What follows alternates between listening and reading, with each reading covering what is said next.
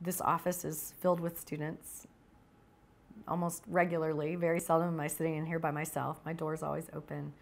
And I, I guess I counsel a lot of students. I provide a, um, just a sounding board and, and try to help them be, be successful as artists, which includes getting all the personal stuff taken care of and out of the way.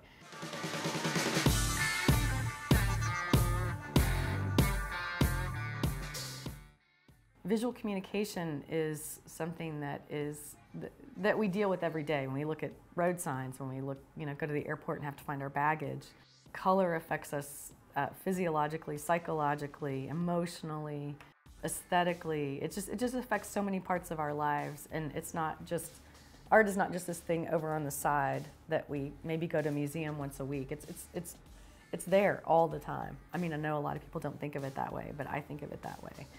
And so I like communicating to people in that way and uh, talking to students about visual communication and, and what kind of impact the things that they make can have.